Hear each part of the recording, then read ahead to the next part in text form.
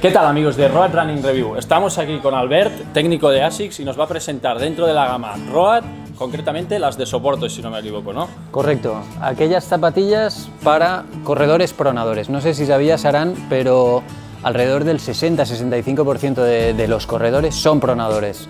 Eh, pronador básicamente es un mecanismo de amortiguación natural que tiene el cuerpo. No es bueno ni es malo, que eso también es importante tenerlo, pero sí que tiene particularidades. Son corredores en los que al pisar el empeine cae un poco y necesitan cierta estabilidad, especialmente cuando acumulas kilómetros, porque digamos la pronación con el cansancio, con el desgaste, eh, con la fatiga muscular se eh, incrementa. Si conseguimos minimizarla, la eficiencia en la pisada es mucho mayor. Quiere decir que puedes correr más rápido, más tiempo, con más confort y con algo más de seguridad, ¿de acuerdo? Genial, Albert. Yo si te parece, sin entrar mucho en detalle, lo que sí que me gustaría explicar, oye, hay muchas zapatillas ¿Sí? eh, y más allá de los colores, ¿cuándo debe elegir una u otra? ¿De acuerdo?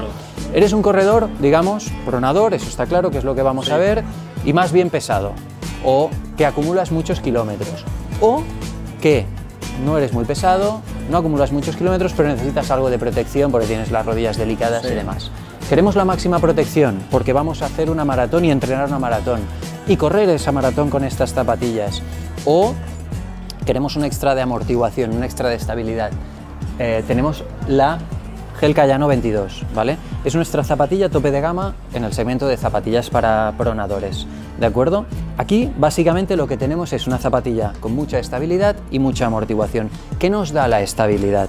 Nos da sobre todo el Duo Max, en concreto el nuevo Duo Max, el Dynamic Duo Max, ¿vale? Es esta pieza que hay aquí, la detectamos porque tiene unos puntitos, un pequeño cambio de color en la, en la suela y como bien haces, hay una densidad distinta. Este material de aquí, este, este foam, es mucho más blandito que, que el que tenemos aquí. ¿Qué conseguimos con ello? El patrón de aterrizaje normal es entrar con el talón, entramos supinando, fase de apoyo completo y los pronadores aquí tendemos a colapsar, ¿vale? Yo soy pronador, por ejemplo, y tiendo a colapsar. Esta pieza lo que hace es que me estabiliza la pisada.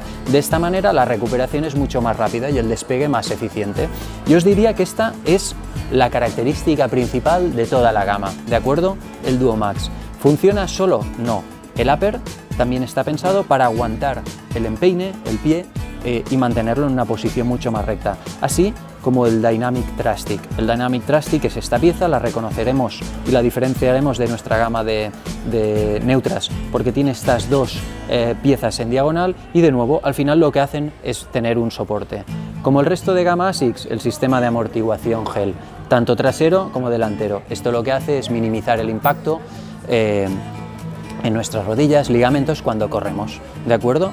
Con lo que, como resumen, una zapatilla para pronadores, para largas distancias, para entrenar y para competir en medios maratones, maratones, ¿de acuerdo? O para aquella gente que quiera un extra de protección. Cayano 22, zapatillas de máxima amortiguación y podríamos decir máxima estabilidad, máximo Correcto. soporte para esos corredores eh, pronadores. Además, tengo entendido que en Q3 sacáis la Cayano 23. Correcto. Eh, de hecho, estará al, Al caer, ¿no? al Ya. caer ya. Básicamente, la principal diferencia e innovación es que en la mediasuela, en vez de Solite y EVA, que son estos dos componentes, Sí. Solite negro, EVA blanco, Sí. utilizamos el Flight Foam. Flight Foam se lanza con Metarran a principios del 2016 y la principal característica es que es un material muy muy ligero. Tiene las mismas propiedades de amortiguación, pero es un 30% más ligero que el Solite, que es el material que estamos utilizando, y un 50% más ligero que el estándar de la industria, lo que encontramos en la mayoría de, de zapatillas. Básicamente misma amortiguación, misma estabilidad, menos peso, más rapidez, más confort. Suena perfecto entonces, la nueva versión de las Cayano 23. Suena muy bien. Yo no las he probado todavía, pero tengo muchas Yo tampoco, ganas. tengo ganas ya, ¿eh? por eso. Eh, si seguimos avanzando, GT 3000, ¿de acuerdo? Una zapatilla que, como decíamos, está dentro de la gama de pronación y se caracteriza por amortiguación y sobre todo por estabilidad.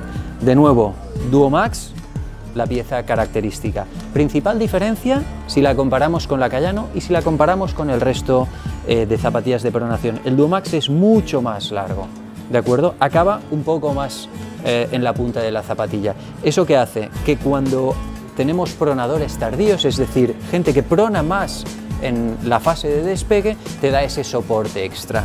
Como Cayano, una zapatilla con gel trasero visible, gel delantero, en este caso no es visible, y mucha, mucha amortiguación.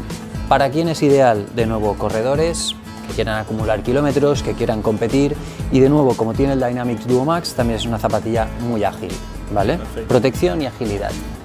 Entonces, GT3000, Asics GT3000, zapatillas con muy buena amortiguación, igual que las Cayano, y con el Dynamic Duo Max un poco más extendidos, incluso para corredores que a lo mejor tiendan a entrar un poco más de medio pie o Correcto, pie. correcto. De acuerdo. Muy bien explicado. Eh, GT 2000, ¿vale?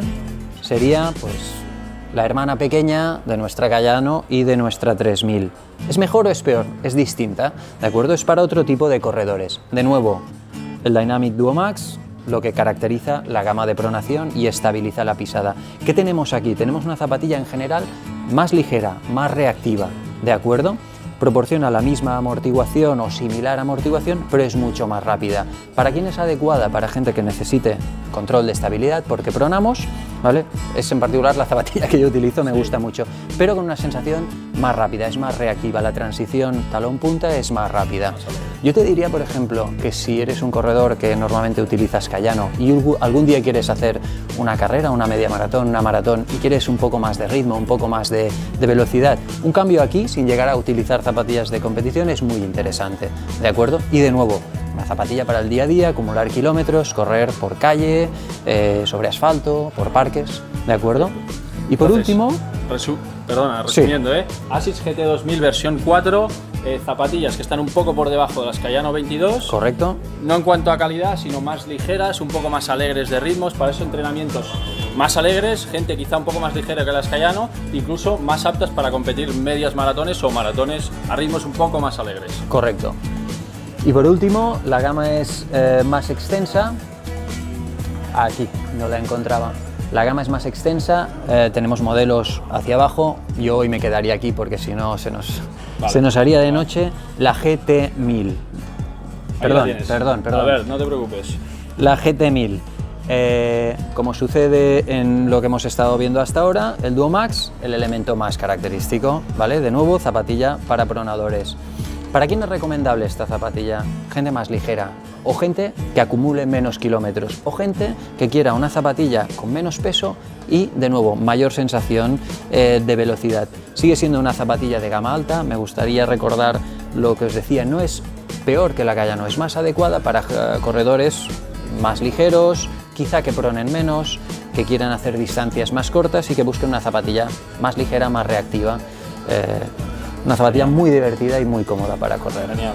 Asics GT1000, zapatillas eh, un poco, digamos, por debajo de las 2000, no en cuanto a calidad, sino también eh, algo más ligeras para gente un poco más ligera también.